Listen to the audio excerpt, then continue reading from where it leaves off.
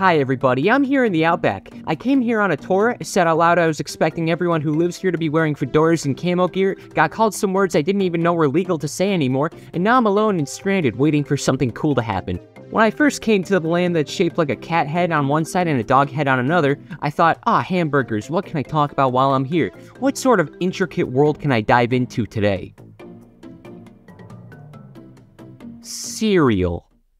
The year is 1984. Two kiddos get 1984 and can't find a scrumptious meal for breakfast. Luckily, three nice men suddenly appear and begin to bake the Cinnamon Toast Crunch to everyone's delight. This trio is Wendell, Quello, and Bob. Wendell toasts the squares in a pan, Quello adds cinnamon and sugar, and Bob makes everything crunchy. But because Quello and Bob were kind of incompetent, a little bit clumsy, and overall not too great at making stuff, one day in 1991, Wendell drowned the two of them in a river, where they remain missing to this day with failure to find where they went if they're even alive. From this point on, Wendell was the sole force responsible for the production of Cinnamon Toast Crunch. He went from just doing the toast to now doing everything, so good for him, I guess. For the next 18 years, his delicacy would go from a few kids to the entire galaxy, with everyone knowing how good these squares are. Even aliens getting access to them, and a kid's nose coming to life and running seemingly miles from the mere scent of cinnamon. The cereal was wacky and potentially dangerous, but ultimately beloved for being a wonderful part of a complete breakfast. Yet, on another hand, the advertising was quieter,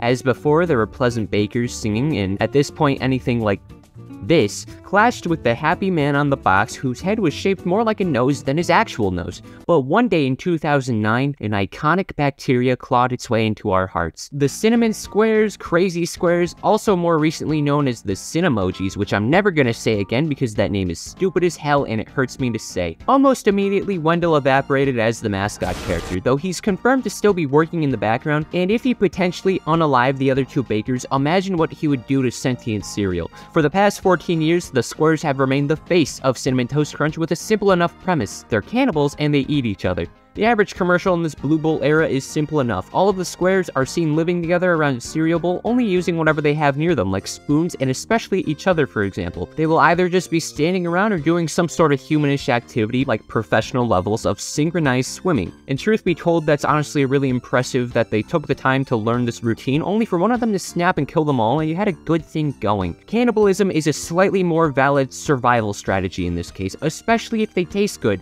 And they probably do, since that's the point, you do. They taste like Toast Crunch, and it's so good that if you were made out of it, you would eat yourself. And it's even worse when it's confirmed that they're alive and they're crumbs. That's what the squares will do to themselves and each other. With how eerie this world is, you can kind of observe these commercials like watching a documentary on an animal you've never heard of. Crazy squares also have organic eyes, tongues, and especially teeth, which made me wonder if cannibals commonly eat teeth. And this Google search alone brought me one step closer to being on a watch list. To give another idea of how bad their entire entire situation is, imagine if you were with two friends. One of them has dandruff and they make it snowstorm from their crusty scalp. Now, imagine the other friend made contact with the dandruff to their tongue and their natural response was to eat you and your friend with dandruff without hesitation. That is what they're doing. And even though there's a couple dozen of these commercials, I was really unable to find anything really worthwhile until I found out about a promotional endless runner game called Crazy Squares Milk River Run. It's here that we learn that they live less like in a large house and more in like a liminal space. The milk weirdly has similar properties to sand for some reason, and I want to say there's tides, but truthfully I have no clue. A few of the Crazy Squares act like sharks, a primal instinct that has been demonstrated a couple times in the commercials. The playable squares need to surf through this milk on a spoon, whereas another one is hellbent on chasing the player. But of course, there's things in the background like an infinite kitchen, infinite table, infinite cereal, and infinite whatever these things are, I forgot what they're called. So I went from kind of understanding this nightmarish kitchen dimension to getting much more confused. And then I found out about more recent events the Crazy Squares have been up to, which gave my big blob of confusion like six moderately sized confusion tumors. Alright, fellas, what the frick frack snake snack is this? The Cinnamon Toast Crunch City Cinnabille, whatever the hell you want to call it, is a more recent invention making its debut around 2017. These commercials are about the same as before, the only major difference, of course, being the city. It's, it's, it's, it's just Detroit. It's just Detroit. Nobody is safe. The life expectancy here is 23 minutes. There's a Cinnamon Toast Crunch Tinder and granola people and churro cinnamon people and cinnamon roll people. It doesn't matter who you are or what you do.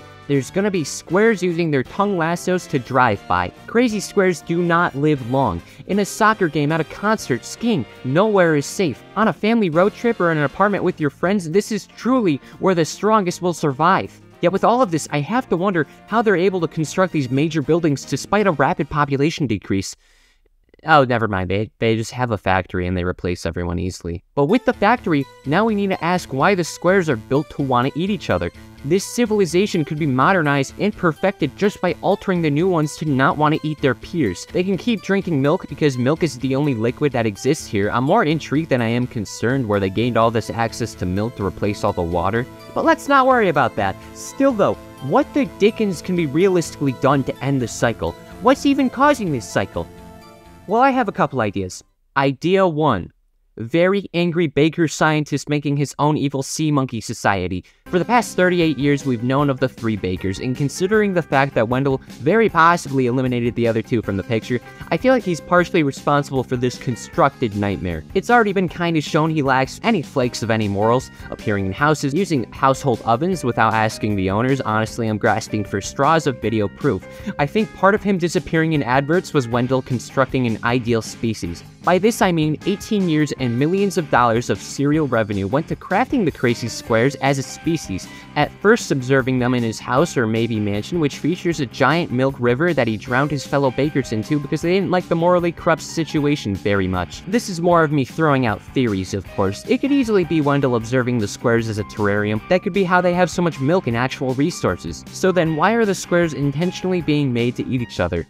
Well, in this situation, in my humble opinion at least, the Cinnamon Squares simply have a severe cocaine problem in their cities. They have enough physical traits and intelligence required to do relatively complex things like play sports, video games, and even drive. It's only through them using their non-existent noses to smell the planted cinnadust that they lose composure and act in this violent manner like they went ahead with some intrusive thoughts. But hold on, there's another idea. Idea 2 wormholes. Some commercials introduce a cinnamon wormhole that will randomly appear for a few seconds and then warp somewhere else. There is no valid reason for how or why they appear or exist, but for once, I really don't want to think or talk about how common they are or why they can appear.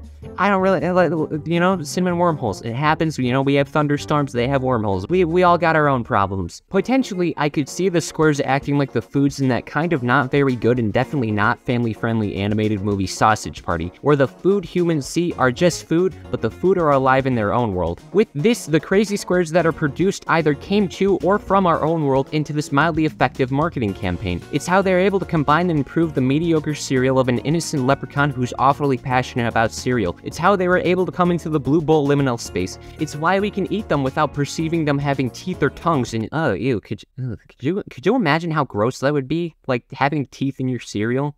Uh, that's horrible to think about. I'm sorry, that was it. Regardless of whatever you think in my weird little theories about Cinnamon Toast Crunch, I think there's at least a few midpoints that are indisputable. The surplus of milk is odd, the fluctuating population is a bit strange, but then there's wormholes in Wendell, and I don't really think we should delve any deeper into these cases. When thinking about this, it's very much like putting a toddler in a wood chipper, because it's messy, relatively unsatisfying, and especially unnecessary. The cycle they find themselves into lacks much of an exit. They live in peace until they realize that they're supposed to eat each other. It's like that game where you lose when you remember the game by the way you lost the game, but instead of being mildly embarrassed by losing, you kill or be killed. And though this video isn't sponsored by Kellogg's or Cinnamon Toast Crunch or anyone, it's a delicious, nutritious, and expeditious meal fun for your entire family treat that you can enjoy any time of the day, but I'll be silently judging you if that any time of the day is from 5 p.m. to 4 a.m. I hope you learned a little bit more about the most popular cereal friends around. Feel free to check out more goofball choopo stuff, climb that food pyramid, get your daily vitamins, make sure to turn off the lights when you leave a room, and have a nice day. And look, a kangaroo came to visit me. He, uh, uh, she is the most kangaroo kangaroo I've ever seen. They're really mystical creatures when you take a closer look. I can really feel the danger in the air. Like something very bad is about to happen and I'm not in a safe place anymore.